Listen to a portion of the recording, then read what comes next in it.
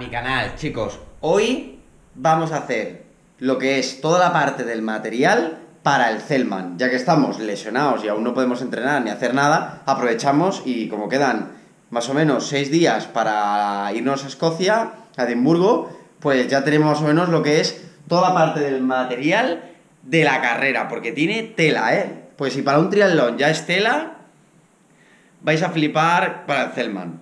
Bueno, vamos a empezar. Primero empezamos con un checklist que se dice en triatlón, ¿eh? lo que es una lista de toda la vida. En trail también se utiliza, yo la tengo, verá que ya no la utilizo porque ya más o menos lo tengo todo mentalizado, pero en triatlón sí que hay bastante, como podéis ver. Entonces, mirad, en el checklist, ¿eh? veis que lo hemos dividido en natación, ciclismo, pie y extras o varios. ¿eh?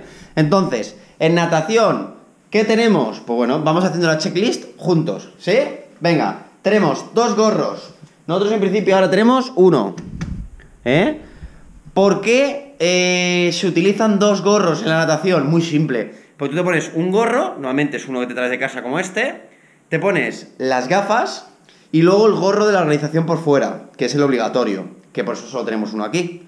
Eh, ¿Qué pasa? Que si nos meten un golpe, una patada o cualquiera nadando, eh, las gafas no salen volando, sino que se quitan, pero se quedan. ¿Por qué? Porque está la goma metida por dentro del gorro. Entonces, por eso es muy importante usar dos gorros en natación. ¿Vale? Pero bueno, gorros tenemos uno, porque aún no estamos en Escocia. Cuando estemos en Escocia tendremos los dos.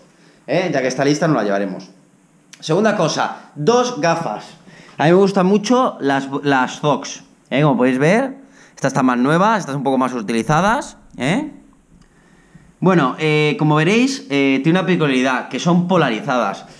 ¿Por qué me gustan a mí las Zux para el mar abierto y polarizadas? Porque los Ironman nuevamente se hacen cuando está el amanecer, cuando empieza a salir el sol. Entonces muchas veces te pega y no ves nada. Entonces, si está polarizada, no, es como que se reduce un poco eso.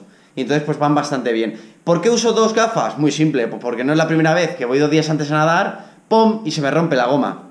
Y dices, hostia, ¿y ahora qué hago? Y por ejemplo, donde hacemos el, el Zelman, que es en un pueblo que se llama Torridon, alrededor a dos, tres horas en coche no hay nada más que paisajes bonitos y poco más. Entonces, claro, tendríamos un problema. Entonces, llevamos dos gafas que no cuesta nada, no pesan nada, ¿eh? Y así ya las tenemos. Seguimos, neopreno. Neopreno, pues el ZOT que, con el que empecé yo en Tri. O sea, este, este este neopreno tendrá como cuatro años, tiene un montón de agujeros, pero bueno, eh, aún no lo hemos puesto este año, que eso es un fallo. Pero oye, eh, sabéis que el tema neopreno, pues bueno, es caro y bueno, y me va bien por ahora, así que este, este es el neopreno que utilizaré. Vale, vamos a seguir. Eh, vaselina, hombre.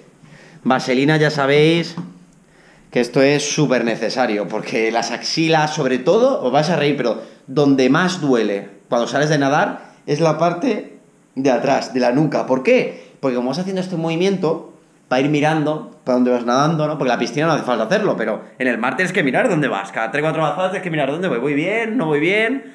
Entonces, pues al hacer este movimiento, muchas veces atrás, pues bueno, pues te haces una herida acojonante, aún echándote vaselina. Entonces, muy importante echarse vaselina, sobre todo en el cogote. Siguiente, mono de competición o tritraje. Tenemos dos opciones. ¿Eh? Tenemos opción tirantes, opción camiseta corta. Como la temperatura media eh, está entre 8 y 15 grados, más o menos, eh, que está mirando el tiempo, de máximas dan 17 grados y como mínimas 6-7 grados. Entonces, ya veremos. Yo creo que llevaré el de manga corta. ¿eh? Pero bueno, mono de competición, que ya sabéis que nos lo ponemos al principio, y el, y el neopreno encima. Siguiente, portachip. Muy importante. ¿eh? Ponemos el chip y se pone en el tobillo y ya tenemos el chip para toda la carrera. Porque en el trail se suele poner en el dorsal, pero, pero en el triatlón normalmente se pone siempre en el tobillo, ¿eh? que es, así está más cerca de lo que es eh, la parte electrónica del suelo para, para dar el cronometraje. Siguiente, chanclas. No las tengo aquí, pero también las tengo. Chanclas son muy importantes para, para ir y empezar la natación. Y eh, lo último sería el DNI, porque muchas veces tienes que, tienes que, vas a mirar la bici pero bueno, eso sería en un Ironman. En el Zelman no te piden eso, así que no hace falta el DNI ahora mismo. Ciclismo, pasamos a la parte de bici, porque todo esto es natación, la toalla para secarse bien, tal. el omeprazol en ayunas antes, el esparadrapo para los pezones, el lado de salir por si corremos. Pero bueno, esto es todo lo de la natación. Vamos a pasar al siguiente lado, al de la bici. ¿Vale? Pues muy simple. En la bici tenemos la bici, que bueno, está guardada, pero la llevaremos, guardada en una maleta rígida, que ya os la enseñaré. Eh, casco, casco llevaremos el aero. ¿Por qué? Porque creo que va a hacer viento. Y si hace viento, el aero nos, lo vamos a notar. Lo vamos a notar y, y nos va a ir bien. ¿eh? El aero es este, es un Catlight de toda la vida, no es ni un casco súper, yo que sé. Está bastante tuneado, como lo podéis ver, como siempre. Y bueno, es un casco aero, simplemente pues para coger la posición y que el viento en vez de te pase por dentro te pase tal. Problema de los cascos aero, que no transpiran casi, entonces es una putada. Porque si hiciera calor, como nos hizo por ejemplo el Alemán de Barcelona, puedes deshidratarte y es una sensación muy fea. Pero bueno, no tiene que por qué darse el caso. Eh, también gafas de sol, porque nunca se sabe. Gafas de sol también hay que llevarlas. En un principio tenemos la del casco, pero no sería la primera persona que conozco que se le rompe las gafas del casco y no tiene gafas de sol normales. Y eso seguro que hacer la bici lloviendo o con sol o con viento en la cara, eso molesta muchísimo. Entonces, gafas de sol no las llevamos. Eh, seguimos. Eh, zapatillas de bici, que llevaremos la Boa Tranger, de Boa. Pero bueno, unas zapatillas muy, muy normalitas, no tiene ningún misterio. Luego llevaremos también eh, llave multiusos. Ya sabéis que, bueno, que aquí no tenemos asistencia, o sea, el único que me puede ayudar es mi amigo y no tiene ni idea de bici. O sea, tiene menos idea que yo, entonces no tenemos ni idea los dos. O sea, como, como, no, como no sean cuatro cosas básicas, cambiar la cámara y tres tonterías, lo tengo complicado. Pero bueno, en principio tenemos mm, la salen por si se nos afloja una acople, se nos afloja cualquier cosa que podamos arreglarlo, ¿eh? Y no pesa nada tampoco. Eh, ¿Qué llevaremos también? Aquí no lo tenemos, pero llevamos dos cámaras de repuesto. En verdad, en verdad, en verdad, habría que llevarse incluso tres. Porque tú dices, hombre, pero vas a pinchar tres veces. Y sí, sí. ¿Qué cuesta una cámara? ¿3-4 euros?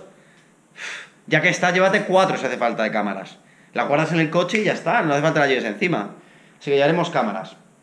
Eh, cinta portadorsal. Porque cuando salimos de la natación hay que llevarse ya la, la cinta, que es donde llevaremos el dorsal colgado, aquí, ¿eh? Y este, este tipo de cosas también se han visto ya en trails. Y eso sí que se lleva porque la bici lo llevas en la parte trasera y luego corriendo en la parte delantera.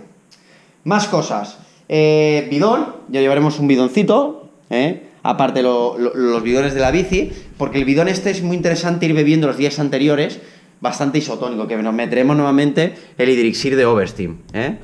Pero bueno, ya tengo otro vídeo pensado para hacer el vídeo de alimentación, que si no se va a ir este vídeo un montón.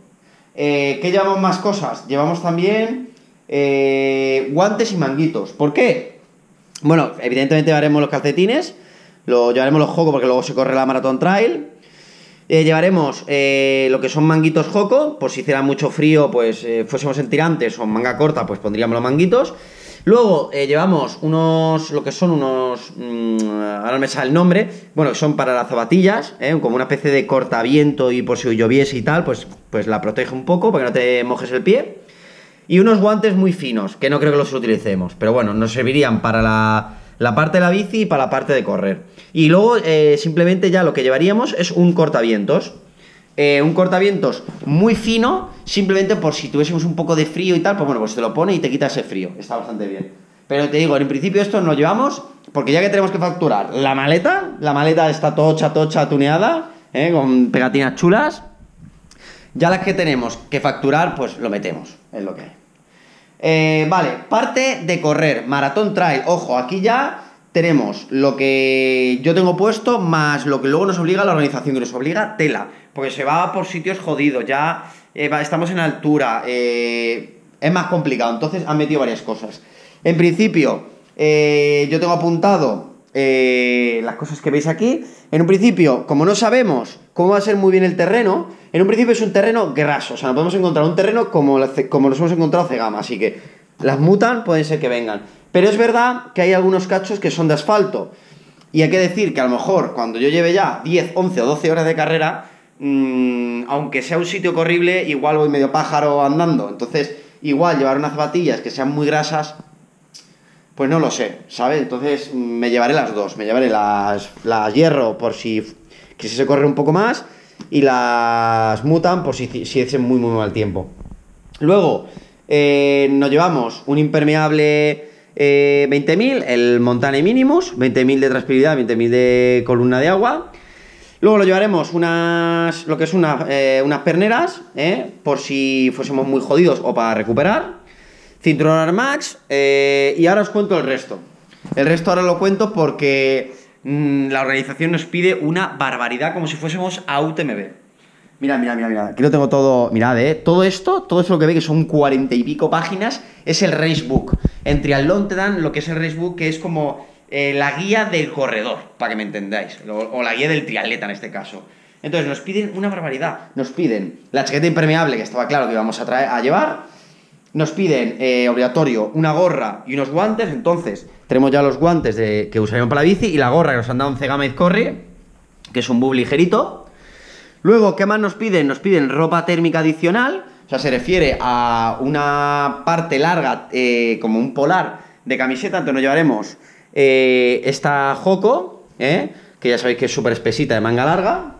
Luego nos piden el kit básico de ayuda, que bueno, tenemos aquí un topioni, que unas vendas, unos guantes, unos comper, un antium, bueno, tenemos un poco de todo. ¿Por qué? Porque los últimos 15 kilómetros son tan jodidos que nos obligan a correr con nuestro compañero y entonces pues uno de los dos tendrá que llevar ese kit. Hombre, yo creo que mi amigo se lo haré llevar porque yo estaré más cascado, llevaré ya 30 kilómetros corriendo casi y, llevaré, yo qué sé, la barbaridad de horas encima. Entonces, eso se lo haré llevar a él, creo. Es lo que hay. Eh, ¿Qué más nos piden? Nos piden, eh, sí, nos piden parte cubierta al cuerpo impermeable, con capucha. Entonces, ¿a qué se refiere? Se refiere que hay que tener una parte impermeable encima, que ya hemos dicho que tenemos el 20.000, y la parte inferior. Entonces llevaremos estos Ride Light, ¿eh? que son eh, impermeables, pantalón largo, y llevaremos, ya que no lo piden, eh, dos calentamanos, ¿ves? Y calentapiés. Entonces eso lo que hace es, tú lo abres, se calienta, lo metes dentro del calcetín, y lo metes dentro de los guantes y eso te calienta que es flipante. Yo creo que todo esto es una exageración, pero oye, si hay que llevarlo y no lo piden, pues lo llevaremos, ¿eh? sin problema. Vale, pues en principio esto es todo el material. Luego, pues bueno, yo tengo algunas cositas como por ejemplo las cintas, ¿no?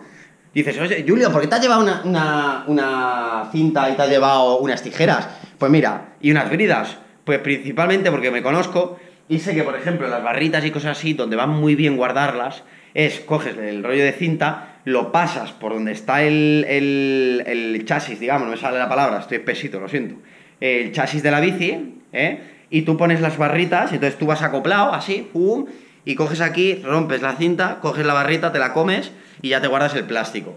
Entonces, claro, eso va muy bien porque tienes todas las barritas y más o menos lo vas calculando. Y va muy bien. Entonces yo me llevo estas cositas. Nada, esto chavales es todo el material, ya se me ha ido el vídeo a casi 15 minutos y he intentado hablar lo más rápido posible. ¿eh? Eh, nada, eh, ahora os enseño luego en otro vídeo la nutrición y nada, y luego yo os enseñaré la bici, cómo la desmonto y todo. ¿Tenéis alguna pregunta? Ponedlo abajo. Nada, chavales, seguimos a tope. No podemos físicamente aún, pero mentalmente estamos súper motivados.